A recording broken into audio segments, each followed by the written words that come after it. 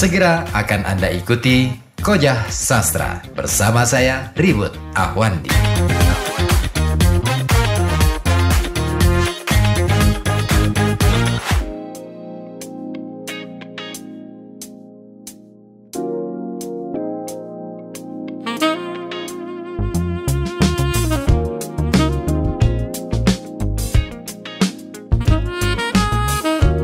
Koja Sastra edisi spesial peringatan Hari Ibu masih berlanjut kawan. Dan tadi kita sudah ulas uh, mengenai puisi Ibu karya Dewi Zawawi Imron uh, yang ternyata puisi ini diilhami oleh cerita ibu yang hidup dalam uh, kebudayaan maritim.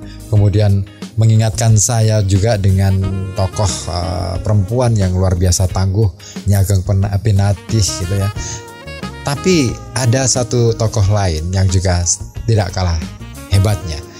Nah, siapa dia? Ya, sempat terpikir oleh saya tokoh ini luar biasa karena uh, dia uh, luar biasa tangguh. Dia menjadi salah seorang peletak dasar poros maritim di Nusantara abad ke-15. Uh, cantik orangnya juga punya kisah-kisah yang sangat kontroversial. Siapa dia? Ya, tepat Iya, oke. Okay. Uh, eh, dialah Nyai Ratu Kalinyamat.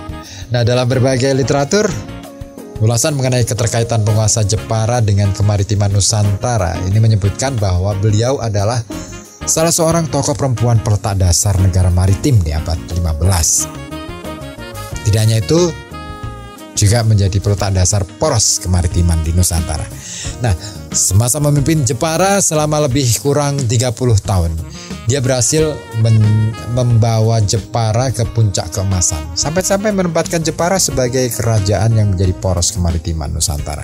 Nah, tidak hanya itu kawan, Jepara di bawah kepemimpinan dia ini juga menjadi kekuatan negara-negara dalam kawasan Nusantara, menjadi benteng pertahanan sekaligus menjadi penyerang bagi bangsa-bangsa asing yang akan masuk dan menguasai Nusantara.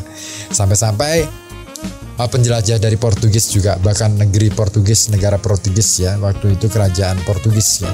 Ini memberikan gelar yang uh, menggetarkan dunia.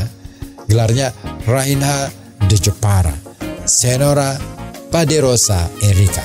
Artinya Ratu Jepara wanita kaya dan sangat berkuasa. Ratu Kalimat atau Retno Kencono yang lahir di bulan Ramadan 1514 ini merupakan putri dari Kanjeng Sultan Trenggono, Sultan Demak uh, yang berkuasa pada tahun 1504 sampai 1546 dari perkawinannya dengan Roro Purbayan. Tom Pires dalam buku Suma Oriental ini menggambarkan Jepara pada tahun 1470 ini sebagai kota pelabuhan yang juga pusat lalu lintas perdagangan. Pelabuhannya indah, menghadap ke tiga pulau, uh, Pulau Bokor, Kelor, dan cukup juga Pulau Panjang. Nah, tiga pulau ini melindungi Jepara dari amukan angin barat. Nah, jadi Jepara pada waktu itu juga punya andil besar bagi perkembangan uh, dan juga penguatan ekonomi serta militer. Nah, sementara dalam babat uh, Demak ya Disebutkan juga bahwa Ratu Kalinyamat sejak kecil ternyata sudah dipersiapkan uh, oleh Sultan Trenggono. Uh, dia dididik oleh uh, dididik sebagai ahli keagamaan dan pemerintahan sekaligus. Pernah juga diutus menjadi utusan utama Sultan Demak untuk beraliansi dengan Banten di tahun 1544 uh, seperti yang ditulis oleh Fernandez Mendes Pinto. Uh, dan aliansi ini untuk persiapan penyerangan armada Demak ke Jawa Timur Nah, pertemuan tersebut berlangsung uh, dengan membahas uh, strategi penyerangan uh, serta peralatan perang yang harus dibawa oleh prajurit Banten. Pada waktu itu disiapkan 40 perahu layar, 30 perahu dayung dan 700 prajurit.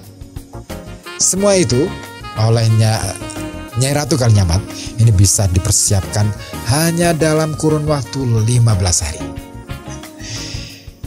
itu dilakukan di sem secara sempurna pada tanggal 5 Januari 1546. Pada waktu itu Ratu Kalinyamat berada dalam iringan armada dan mereka menuju Jepara untuk melakukan ekspansi ke Jawa Timur. Nah, itu Ratu Kalinyamat.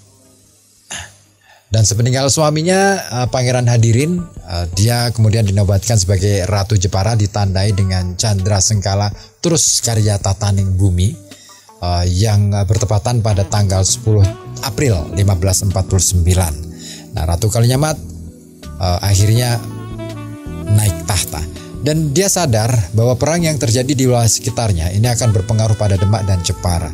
Sehingga dalam aspek perdagangan ya terutama dengan negara-negara seberang lautan uh, sehingga dia kemudian membangun uh, pola keamanan sistem keamanan yang mampu melindungi perdagangan uh, di Nusantara pada waktu itu terutama uh, yang ada di uh, wilayah kelautan.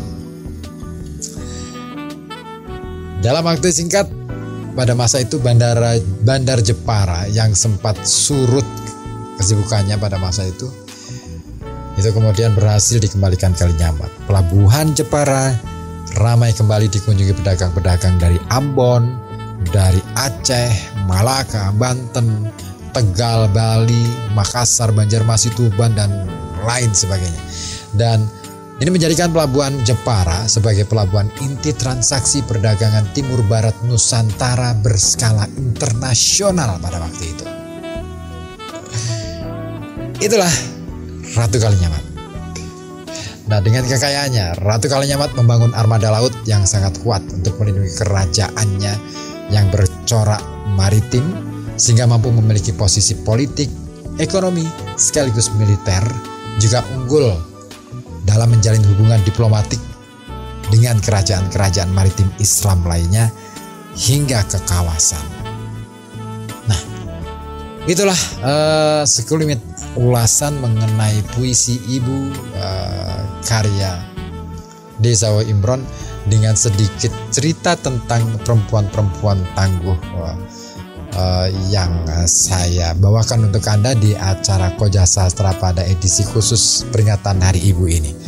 Semoga aja itu bisa menginspirasi kita semuanya, terutama bagi kaum hawa ya, untuk menjadi perempuan tangguh. Dan ya tak terasa ya, sudah dua jam saya menemani Anda di program acara Koja Sastra. Saatnya sekarang saya pamit dan kita akan coba lagi ya, di lain kesempatan malam Jumat ya, mulai pukul 19 sampai 21.00 di FM 91,2 Radio Kota Batik tentunya dengan tema yang gak kalah serunya ya di Koja Sastra.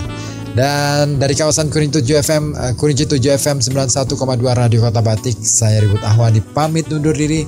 Jangan lupa jaga diri, jaga kesehatan, dan tetap berbahagia dengan sastra. Kita menyelami samudra kehidupan, menjelajah cakrawala, mengarungi semesta raya. Salam budaya, salam sastra. Wassalamualaikum warahmatullahi wabarakatuh. Terima kasih Anda telah menyimak Kojah Sastra bersama saya Ribut Ahwandi dari FM 91,2 Radio Kota Bati.